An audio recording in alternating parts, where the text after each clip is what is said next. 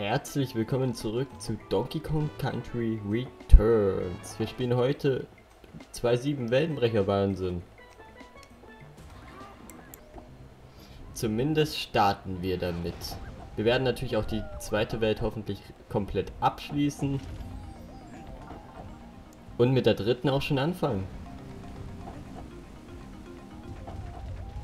Das wäre zumindest super, super gut.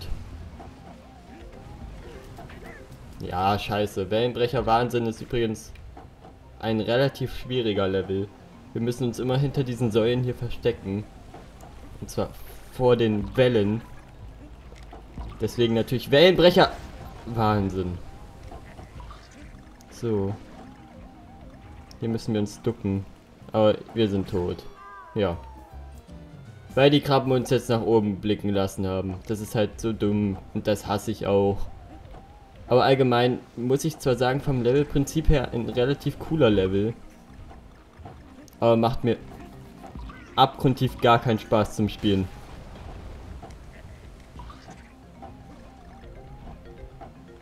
So, hier können wir auch dieses Teil benutzen, welches für einige Zeit da ist, wenn man diesen roten Schalter aktiviert. Da ist, glaube ich, nur äh, Bonuszeugs drin, brauchen wir also nicht. Aber ja, an sich geht der Level klar. Ist nur, glaube ich, auch der schwierigste aus ähm, Welt 2. Ja, doch, definitiv. Ist aber auch gut so, weil ich meine, es ist der Abschlusslevel dieser Welt. Hier ist gleich mal das nächste Puzzleteil drin und hier unten ist noch ein Bonus. Die Musik übrigens auch richtig gut, eine meiner Lieblingstracks aus Returns. Passt einfach unglaublich gut zum Level. Also, liebe ich. Den Level zwar an sich nicht, allgemein, weil ich finde den halt zu dramatisch.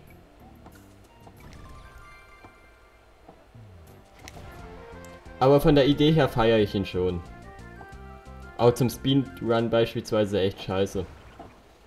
Ihr wisst gar nicht, was das mir schon für Speedruns zerstört hat, dieses Level. Seitdem Speedrun ich auch kein einziges Spiel mehr. Hä?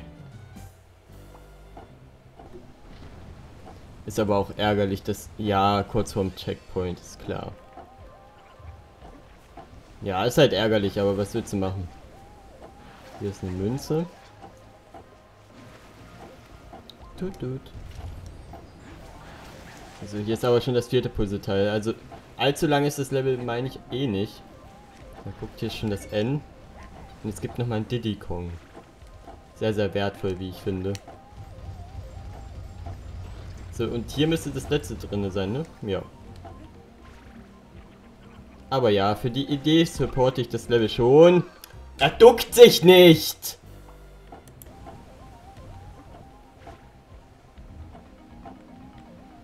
Okay, ich habe die vorher erledigt. Weil das ist halt mir sonst zu dumm. Hallo, Wand oder so? Danke. Diese brüchigen Wände kann man logischerweise nur einmal benutzen. Okay. Achtung, hier durch die Fenster kann das natürlich trotzdem noch gespült werden, das Wasser. Das ist zum Beispiel eine Sache, wo ich sagen muss, ja, das ist ganz cool gemacht eigentlich. Klar, kann einen killen, aber an sich ist der Level jetzt auch nicht wirklich schlecht. Nur nicht so der, den, den ich mag, einfach wegen meiner Vergangenheit mit diesem scheiß Level. Aber ist okay.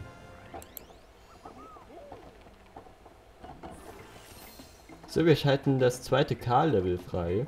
2K Trümmertempel. Werde ich übrigens versuchen, immer vor dem Boss zu machen, das K-Level.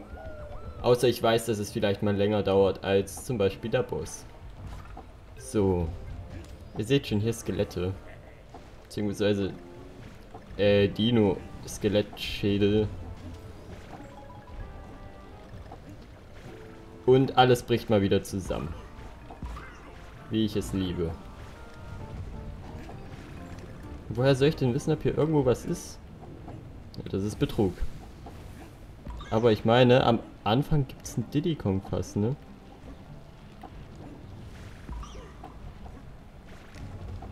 Einfach Hardcore-Shit des Jahrtausends. Aber kommt man immer bis hierher, bekommt man immer ein Leben. Das ist ganz sozial, wie ich finde. Hier ist endlich auch mal ein Puzzle-Teil.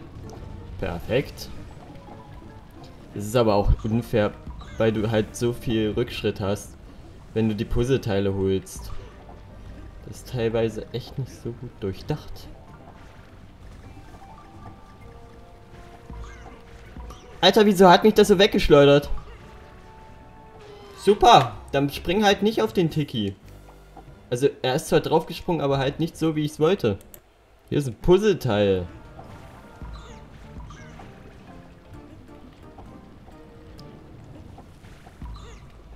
Ist mir gar nicht aufgefallen. Einmal dumm gestorben bin ich nochmal. Einfach nur, weil ich mich halt beeilen wollte und ich dann natürlich zerquetscht wurde. Okay.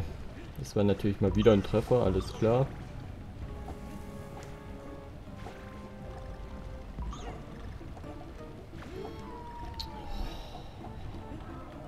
Kotzt mich das an. Einfach nur hier hoch. Das wollte ich da vorhin auch nur. Aber ich muss echt sagen, ich hasse es, wenn ich wegen Secrets sterbe. Ich meine, was kann ich da dafür? Ich, ich will halt alles finden, aber... Und dann sterbe ich halt da dran. Das ist halt so scheiße. Ich meine, so ohne die Secrets sammeln, da kann ich die Level auch besser, aber... Hm. Dann halt nicht, ne? Was hast du gemacht, Donkey Kong? Und alleine dadurch, dass ich halt den 200% Modus geschafft habe, würde ich schon sagen, dass es ohne Secrets teilweise echt einfacher ist. Ich meine, da sammle ich ja die Buchstaben nicht nochmal neu oder die Puzzleteile. Das heißt, ich kann mich wirklich voll und ganz auf das Geschehen konzentrieren, so wie jetzt. Aber warum sich Donkey Kong so komisch da, also warum der so komisch darüber geflogen ist, habe ich auch nicht verstanden. Gut, an sich wirklich machbares K-Level. Für die zweite Welt immer noch eine okay Schwierigkeit, aber ja, die Tode hätten nicht sein müssen. Aber ist schon okay so. 2b, kneifende Korsaren. Das ist der Boss dieser Welt. Und glaubt mir, wir haben ihn schon bereits gesehen.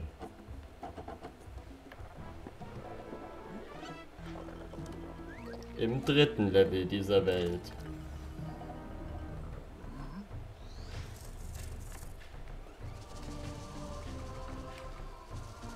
Es sind nämlich diese drei Piraten.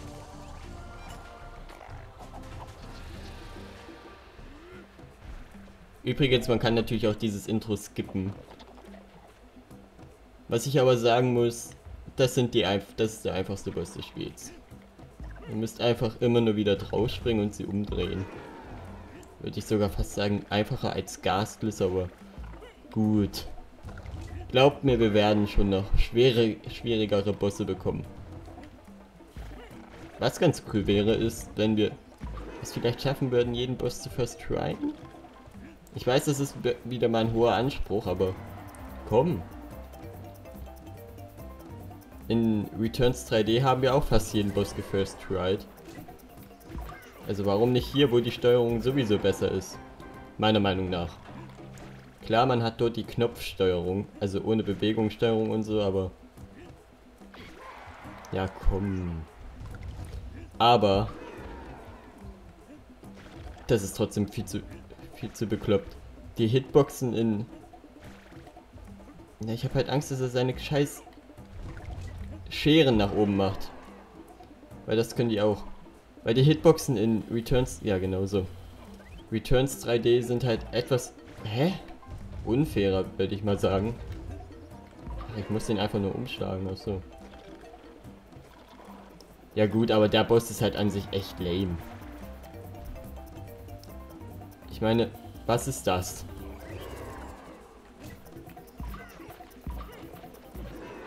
Das war's. Naja. Dieser Tiki, also diese drei Tikis, die hier hinten steck, hier stecken, haben nicht wirklich großartige Arbeit geleistet.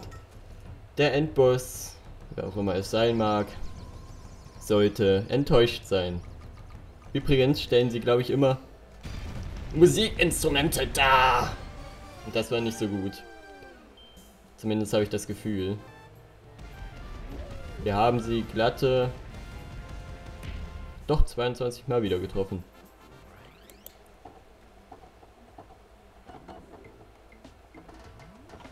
Na, na, na.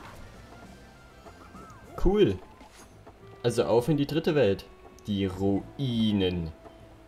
3-1 wackeliger Wasserweg.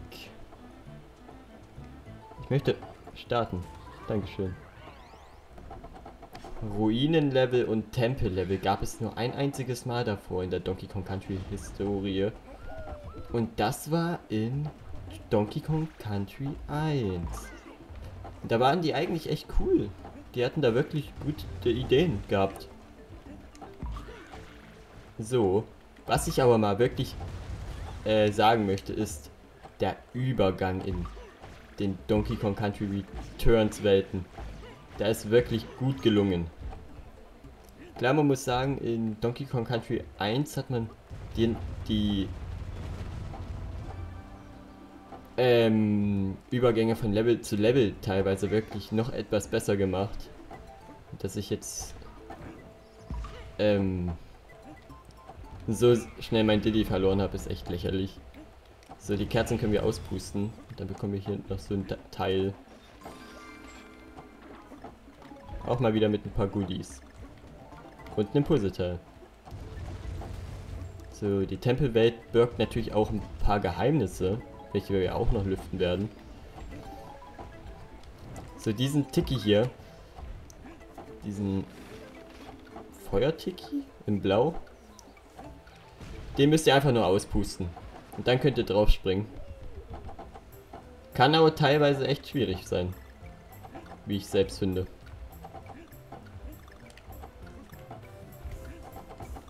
Genauso wie dieser Bonus. Wenn man den falsch anfängt, dann kann der echt frustrieren.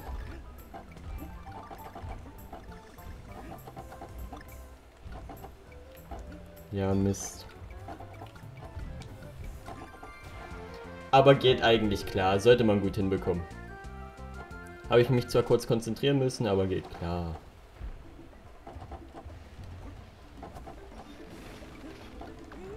Ja, komm.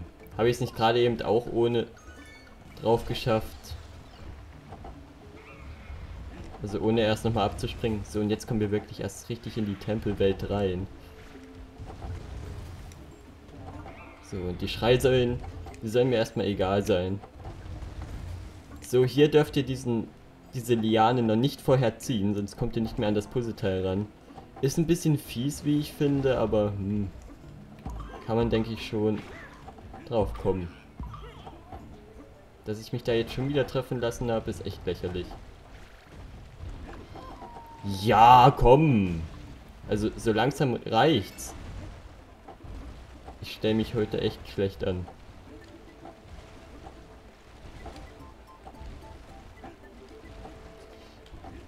Okay. Man hat aber mit Donkey Kong auch viel weniger Möglichkeiten. Gut, diesmal ein bisschen schlauer machen. Hier einfach komplett drüber fliegen, das ist viel besser. Ich weiß nicht. Ich habe einfach dumm angefangen. Muss man ja einfach ehrlich sagen. Und ich mache auch dumm weiter teilweise. Ja, perfekt. Also was ich heute los ist, ich weiß es nicht. Früher dachte ich immer, das wäre eine Art Achterbahn, wegen dem Hintergrund auch. Aber nee, ist halt keine Achterbahn. Ist vielleicht auch besser so. Würde mir jetzt nämlich nur Donkey Kong Country 2 Vibes geben. Und da waren die Achterbahnen teilweise echt asozial. Und ich kann es echt nicht verstehen, wie ich mich jetzt hier schon wieder zweimal treffen lassen konnte. Weil glaubt mir, das ist nicht so, schwer, wie ich mich angestellt habe. Na ganz toll. Ich möchte gerne da hoch, aber was ich sagen muss, dieser Sprung in Donkey Kong Country Returns ist so viel schwieriger als in Tropical Freeze. Man muss das so viel besser timen, dass man wirklich diesen guten Sprung von den Kopf auf den Gegner bekommt, die kriege ich so schlecht hin. Ich muss mich da erst noch dran gewöhnen, dass ich den nicht so versuche wie in Tropical Freeze. Deswegen bin ich ja vorhin auch im K-Level gestorben. Weil ich ja nicht ans Secret rankam. Aber gut. Ich finde den aber auch schwieriger hier, diesen ähm, Sprung. Finde ich zwar jetzt nicht unbedingt so gut, dass der schwieriger ist. Weil das ist schon eine Sache, die wirklich gut funktionieren soll und ja, ist halt schade, wenn das dann unglaublich schwer ist. Hier im Hintergrund sehen wir übrigens was Schönes, nämlich ein Arcade Donkey Kong, also ein Cranky Kong, in, wenn man es so nimmt, weil wir spielen ja hier Donkey Kong Jr. eigentlich. Ja, schlecht. Ja, ist ein ganz nettes Easter Egg. Das Schön Schöne daran ist, man sieht dieses Easter Egg dann nochmal in Donkey Kong Country Tropical Freeze. Ja, Mist, so schnell konnte ich jetzt nicht reagieren. Allerdings mit einem Wii U Gamepad. Das ist auch ganz cool, weil er hält ja hier eine Remote hoch. Zwei. Ich hoffe mal, dass ich mich langsam in Donkey Kong Country Returns wieder einfinde. 3-2 Knopfknüppelei. Musik im vorherigen Level war übrigens ganz war übrigens ganz nett.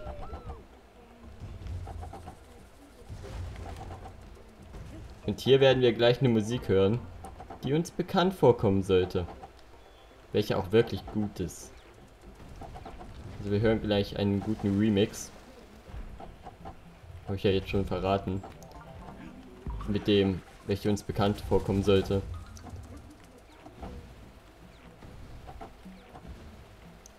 So. Hier das K, das kann man eigentlich nicht wirklich versauen. Auf dem muss ich aber sagen, funktioniert dieser Sprung dann doch wieder besser. Schon drei Puzzleteile, echt. Aber das verstehe ich in dem Spiel auch immer noch nicht. Warum diese Sprünge so abgrundtief scheiße sind. Wieso kann man denn diese Wandsprünge so schlecht machen? Also von der Wand abspringen. Ich weiß nicht. Das fühlt sich alles irgendwie nicht fertig. Also was heißt nicht fertig an? Nicht so, wie ich es gewohnt bin. Hm. Ganz komisch. So, wir müssen jetzt hier ein Rätsel lösen. Und zwar das Rätsel der äh, Swooper. Wir müssen hier diese ganzen Vögel töten. Am sinnvollsten ist das mit der Rolle. Und das ist tatsächlich auch, finde ich, gar nicht mal so einfach. Deswegen bin ich froh, dass ich das wenigstens First Try hinbekommen habe. Und mich nicht komplett dumm angestellt habe. Aber muss ich echt sagen, ist bislang der schlechteste Part des LPs. Oh, schade, eigentlich mag ich nämlich die Ruinwelt echt gerne. So, und da unten die brüchige Wand markiert einen Bonus. So ist das doch schön. Wir sehen den jetzt schon zum dritten Mal. Und ich darf mich umbringen! So, jetzt haben mich die Vögel so sehr auseinandergenommen, dass ich leider kein Diddy Kong mehr habe. Warte mal, die V-Mode funktioniert wirklich nicht richtig. Das ist jetzt kein Spaß. Dann ist das wirklich oft die ganze Zeit gar nicht wirklich meine Schuld und auch scheinbar nicht die vom Spiel, sondern die von der Remote. Ich drücke manchmal echt, aber... Das ist mir halt jetzt gerade nochmal besonders aufgefallen. Vielleicht sind deswegen diese Kopfsprünge auch so für mich viel, viel schwieriger, als ich es in Erinnerung auch hatte. Hm, weiß ich nicht. Ich wechsle mal im nächsten Party Remote und dann sage ich es euch mal. Klar, man kann jetzt auch denken, Ausrede und so, aber im nächsten Part wechsle ich. Das ist nämlich auch nicht die V-Mode, mit der ich immer spiele. Hier geht es übrigens gleich zum nächsten Bonus. Fühle ich zwar jetzt nicht so, aber ist einfach so. Wenigstens gab es jetzt endlich mal einen Checkpoint.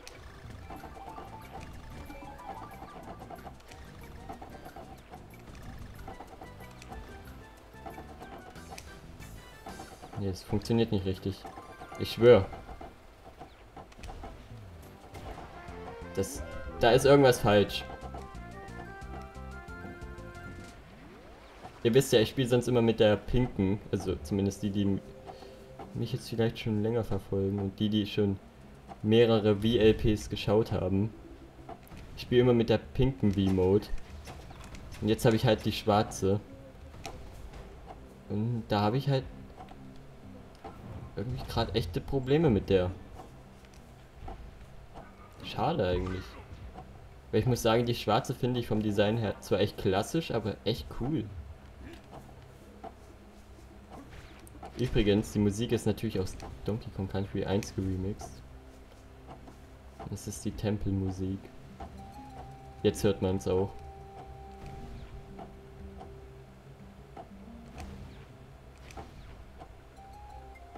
Ja, doch, diese Stelle kennt man schon. Wenn man Donkey Kong Country 1 gespielt hat oder vielleicht fünfmal bei mir geguckt hat. Oder vielleicht auch siebenmal.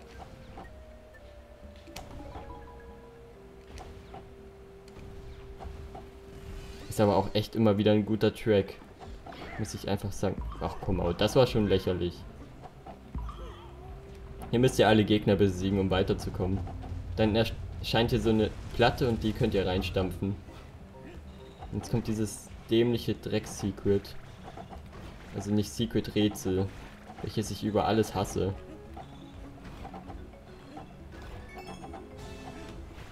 Nein! Wieder komplett unten. Muss ich erklären, warum ich das hasse. Ihr seht schon, die Plattformen sind immer nur für eine kurze Zeit da. Und da muss man halt schnell reagieren. Ist aber auch an sich wieder eine coole Idee, welche wirklich gut in, den, in die Tempelwelt passt. Ja, aber woher soll ich denn... Das Problem ist halt, ich muss darüber. Okay, man kann das auch einfach so machen. Alter, ach komm. Das wäre so schön gewesen. Okay, cool. Sind, ach ja, ich bin ja jetzt hier gestorben. Okay, im nächsten Part wechsle ich dann mal. Dann entschuldigt diese Fails. Ich weiß nicht, womit das jetzt zusammenhing. Aber es scheint mir schon so. Deswegen konnte ich scheinbar auch immer die Level nicht weiterspielen, obwohl ich zwei gedrückt habe. Hm. Naja. So, hier müssen wir jetzt immer perfekt timen. Ist an sich jetzt nicht so schwer. Naja. Im nächsten Part dann mit richtiger Remote. Wir machen aber jetzt noch Cranky Kongs Laden schnell. Ich meine, nimmt ja jetzt eh nicht mehr viel Zeit weg. Müssen wir das im nächsten Part nicht machen und können gleich weiterspielen. Was willst du, hä? Ich bin ein viel beschäftigter Affe, ja, ja. Ja, ja, ist klar.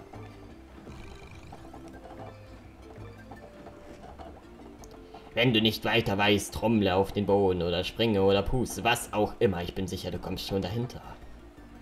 Okay, gut. Ich bedanke mich natürlich wieder für eure Aufmerksamkeit dieses Parts von Let's Play Donkey Kong Country Returns. wünsche euch noch einen schönen Tag. Hoffe euch im nächsten Part wieder begrüßen zu dürfen. Wenn ihr den nicht verpassen wollt, gerne abonnieren. Habt noch einen schönen Tag. Bis zum nächsten Mal. Tschüss. Bis dann.